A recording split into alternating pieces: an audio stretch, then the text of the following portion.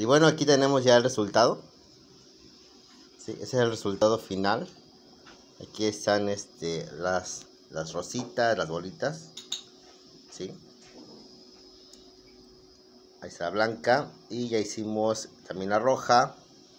Y ya tenemos el escudo.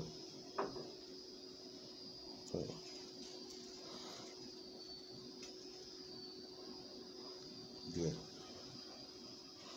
De acuerdo, así es como se hacen las, este, las rositas o así es como se hacen las bolitas. ¿sí? Ya que estamos en este punto de la maca, pues ya lo que resta es hacer otra parte igual de grande de 126 vueltas de esto. ¿sí? Sería la parte de acá arriba. Y ya con eso pues estaríamos terminando la maca con el casillero. También les vamos a, a subir ahí cómo se hace el casillero final. Así es que estén atentos.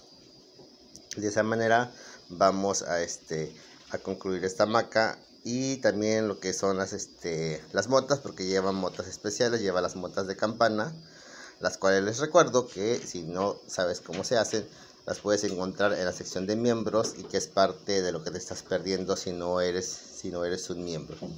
Hablando de, de, este, de las opciones del taller, ¿sí? ya estrenamos el Super Gracias, es el corazoncito que se encuentra aquí abajo y esas son eh, donaciones aquí en YouTube que se hacen de manera directa para las personas que quieran apoyarnos, ¿sí? Entonces, ahí se los dejo. Entonces ya lo que nos puedan, lo que nos puedan ayudar es una ayuda económica, pues ya se los agradezco y ya lo vamos, este, vamos a ir haciendo mención a las personas que nos, que nos ayuden. Bien, eh, antes de irnos, quiero resaltarles este, algunas cosas acerca de esta maca porque pues prácticamente aquí ya la estaremos finalizando. Eh, lleva la parte acá arriba, son 126 vueltas y esto es una muestra de lo que es, el, tejido de petatillo en tres colores. Repito, esto es una muestra de lo que es el petatillo en tres colores, que fue un tejido que diseñamos aquí en el taller de hamacas. El tejido ya existía, lo que cambiamos fue la colorización, ¿sí? Y miren, se logró esto te logró eso y se aplica pues con los colores que tú quieras ahí por ahí anda el video también de cómo este de cómo se hace está en el taller ¿sí? y otra cosa que este que, que me hicieron notar es, mientras hacía esta maca es que eh, queda apretado entonces cómo se teje ¿sí? cómo logras para poder tejerlo entonces a ver aquí va el tip Vamos a, vamos a enmarcarlo. Tip de cómo tejer una hamaca tan apretada.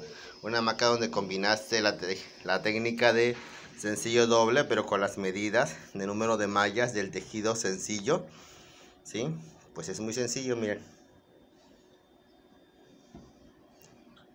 Vean la aguja.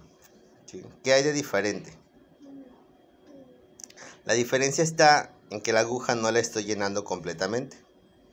¿Sí? Entonces eso me facilita porque permite que entre más fácilmente, ¿sí? Porque ya es una, es una, una puntada muy cerrada, entonces si llenara la aguja pues me va a estar dando mucho trabajo, me voy a cansar demasiado.